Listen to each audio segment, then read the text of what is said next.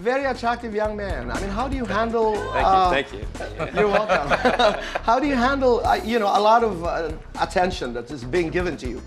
And uh, do you have uh, funny stories about how people would express their admiration, uh, Alejandro?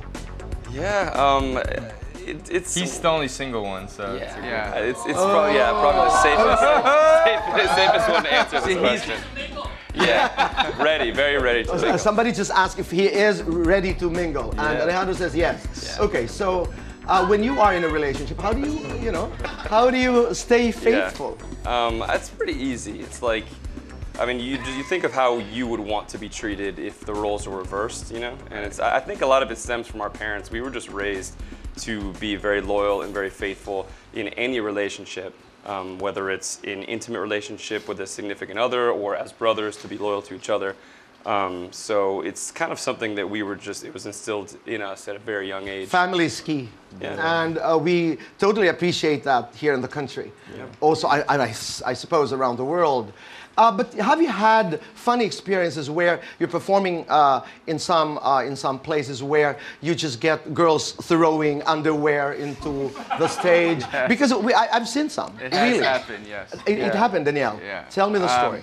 I mean, it's been a few shows, but I think the one we remember the most is uh, we did a show in Dublin, and it got really wild, and there were some panties and bras on stage, and it, it was ama- it was ama- particularly hilarious though because she threw it up and then like we showed it off like wow this is crazy and then she kind of was like asking for it back and we're like no. you're like nah that's, that's not how this works no, Fabian, I know you, you're uh, committed, uh, but have you gotten indecent proposals?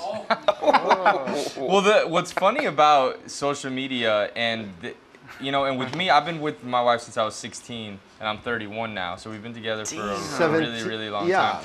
31. and what's great about that is we've been able to grow and, and adapt as the band kind of grew. Because I'm sorry. Such a, I was, I was about to say 16. I'm very bad in math. 15. 15, Okay. yeah, there you go. so, for instance, like when I was first started dating her, she and her parents got me my first guitar as a present, as a graduation present. So, I was with her before I even really knew how to play guitar. So it's been an evolution.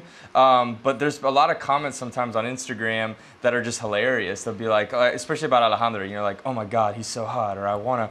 I want to, you know, it's just a bunch of. But that's, you not, can imagine. that's not a problem because Alejandro is single. Relax. But Yeah, what yeah, about people? What about yeah. people who It's say easy for us 'cause Fabian just is just so pass it. hot? Well, a lot of our friends just will- pass it along to Yeah. him. Like, yeah How that, do you do that? that, that's the burden I have to bear They'll That's not a very bad burden, is it? the, the sacrifice No, but you've been together with your wife. Yeah. You know this amazing relationship for 15 years. Uh, I mean, a lot of a lot of young uh, married uh, couples are eavesdropping at this conversation. How do you keep that fire burning? Yeah. how do you? I think. Um, Do you sing to her every night?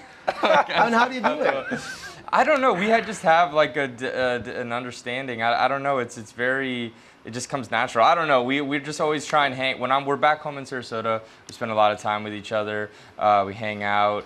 Um, she's she's just very understanding. She's got a thick skin. She doesn't really look into the comments too much and, and get jealous or get upset. Right. I- I- Um, for- so I- for at a lot of it has to do with her just being really cool. But at least from an outsider's perspective on their relationship, being the younger Yeah. brother, looking up to them, um, I think it helps that they formed a strong bond as, a, as friends first, and there was like trust there. And it worked further. and, and it was even before any of this ever happened. So like they, they have a good sense of who they are, the core of that person, um, regardless of fame or whatever happens. You know, so that kind of helped. Sounding like he's married. yeah. I'm like, No, no, but again, you go back to the, you go back to how you guys were raised. I mean, you Yeah. go back to what kind of family you have